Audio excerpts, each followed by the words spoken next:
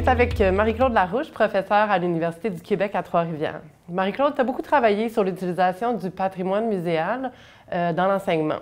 D'après toi, est-ce que ce sont des collections qui sont suffisamment utilisées en classe? Bien, j'aimerais beaucoup avoir une réponse à cette question-là parce que, en fait, on ne sait pas vraiment. On n'a pas d'études qui nous diraient jusqu'à quel point les enseignants au secondaire ou au primaire vont utiliser les ressources numériques des institutions muséales.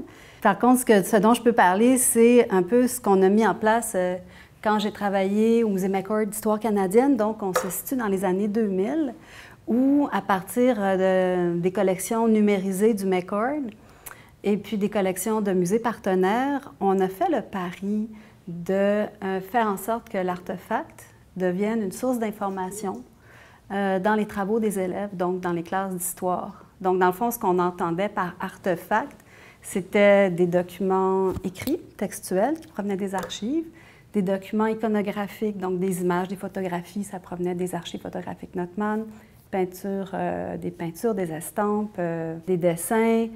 Euh, il y avait aussi des objets tridimensionnels. Et on se disait qu'avec, ben, par l'observation qu'on pouvait faire des artefacts, comme on en voit un ici, aussi par la lecture de l'information qui se rapportait sous le quoi, où, quand, qui, on pouvait utiliser l'artefact comme source d'information. Donc ça, c'était le pari qu'on a fait. Et on sait que ça a été utilisé dans de nombreuses classes au Québec, mais aussi dans d'autres provinces canadiennes parce qu'il y avait vraiment un mandat de travailler euh, en lien avec des enseignants dans différents contextes où ils s'enseignaient l'histoire au secondaire. Maintenant, ce développement-là, quand même à dire que sans qu'on ait pu vraiment tracer un portrait exact des usages, le fait qu'on ait beaucoup travaillé en projet pilote, on a pu comprendre un peu les besoins euh, des classes, face à un tel outil. Et euh, je dois signaler que le Récitus a été dans euh, le tout premier partenaire scolaire avec impliqué dans les développements numériques. Donc, ensemble, on a fait beaucoup de chemin pendant ces années-là. Bon, mais justement, Marie-Claude, tu as mené très récemment avec euh, nous, le Service national du récit de l'univers social, et avec BANQ, une recherche sur la valorisation des ressources numériques en classe. Est-ce que tu peux nous parler un peu de cette recherche-là, puis quels sont les résultats que tu as obtenus? Donc, si on se replace dans le contexte, euh, il y a l'arrivée de l'implantation de ce nouveau programme. Il y a le site euh, Documents d'histoire et de géographie que le Restus a mis en place depuis plusieurs années en pigeant des documents à différentes euh, sources. on s'est dit que ça procurait un contexte favorable pour développer, travailler au développement d'une première tâche, qui était une tâche de révision de l'année euh, en troisième secondaire. Donc, la tâche s'appelle euh, Réviser avec BANQ.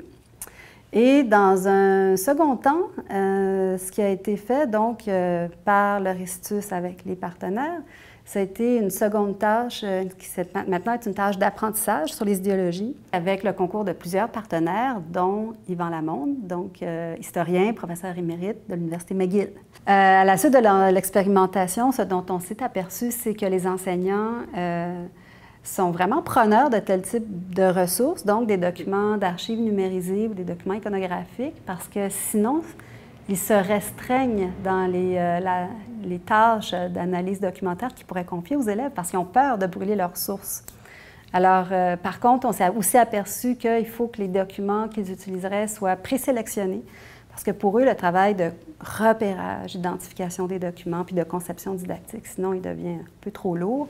Donc, ils s'attendent aussi à ce que des tâches leur soient proposées donc, pour les élèves. Justement, BNQ a lancé euh, tout récemment, en septembre 2017, euh, une ligne du temps du Québec, donc un outil numérique en ligne sur lequel euh, ils placent leur collection numérique, histoire de les rendre plus accessibles au grand public. D'après toi, Marie-Claude, à quoi ça peut servir aux enseignants, puis en quoi un outil comme ça peut être utile aux enseignants en classe? Bien, on sait que les élèves ont de la misère ou du mal avec la chronologie. aussi, la conceptualisation peut poser problème, c'est-à-dire que comprendre, établir des liens, en fait, entre des choses qui peuvent sembler très anecdotiques dans des documents d'archives jusqu'au fait ou à l'événement auquel ça se rattache. Donc, moi, ce que j'ai pu observer, bon, si on regarde d'abord le, site, euh, on voit que c'est une consultation ordonnancée chronologiquement euh, d'une série de documents euh, d'archives, principalement textuels, mais aussi iconographiques.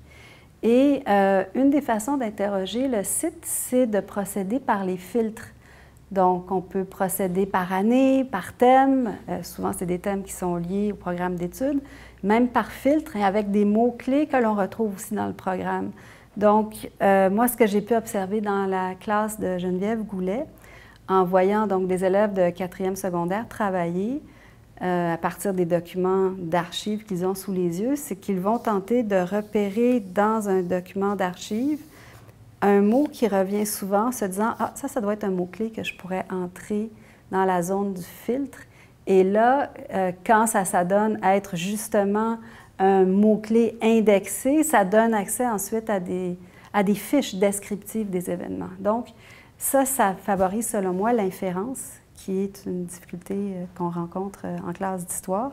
Et c'est pour ça qu'au final, un outil comme celui-là pour la classe d'histoire je trouve que c'est intéressant pour euh, développer euh, les, capacités d'analyse documentaire des élèves, mais aussi euh, ce qu'on dirait aussi la littératie numérique. Donc, investiguer des bases de données avec un ensemble de mots-clés, puis comprendre un peu comment naviguer, puis comment utiliser les sources par la suite. Et donc, grâce à la technologie, les enseignants et les élèves ont accès à des milliers et des milliers de sources primaires directement, ce qui est essentiel pour mettre en contact les élèves avec euh, les documents de source première? Euh, en fait, c'est l'idée euh, principale de la didactique de l'histoire, de d'initier les élèves à la méthode historique, de procéder de cette façon-là pour s'assurer qu'ils comprennent bien que l'histoire est une discipline interprétative. Du moins, c'est ce qu'on vise. C'est sûr qu'en classe, bien, c'est quand même une simulation de la démarche de l'historien, parce que là, on est un peu à rebours. Euh, dans le cas qui nous occupe, dont on venait de parler, les élèves partent des documents, font de l'inférence vers les faits qu'ils tentent de replacer chronologiquement. C'est une démarche, on va dire, à rebours, c'est une simulation. Mais l'idée, c'est de les mettre actifs avec une série de documents et à comprendre quel type d'informations on peut extraire des documents. En résumé, euh, qu'est-ce qu'on peut dire que les ressources numériques des institutions culturelles apportent dans la classe d'histoire, Marie-Claude? C'est sûr que par le numérique, donc, on entend les réseaux, les applications logicielles, avec aussi tout ce qui est euh, les équipements. pour les institutions culturelles, c'est vraiment un moyen de contribuer à la vie de la classe, puis de procurer des matériaux, des ressources pour mettre en œuvre les habiletés d'investigation documentaire des élèves, euh, de questionnement, de stimuler leur curiosité aussi. Donc, euh, il y a des éléments, je pense qu'il y a de cette façon-là, les institutions culturelles permettent aussi à l'école d'actualiser leur mission culturelle et puis de le faire en recourant aussi donc, au patrimoine, euh, culturelle, mais aussi en développant, les, en développant les habiletés de littératie numérique des élèves. En conclusion, on encourage les enseignants à aller fouiller sur BANQ numérique ou sur le site du musée McCurt pour aller trouver des milliers de documents de sources primaires, que ce soit des unes de journaux, des cartes, des cartes postales, des caricatures, euh, etc. Oui, on leur souhaite bonne exploration. Merci Marie-Claude. Merci à toi. Cette capsule fait partie des parcours de formation du Service national du récit de l'univers social. Pour consulter les parcours, visitez l'adresse suivante.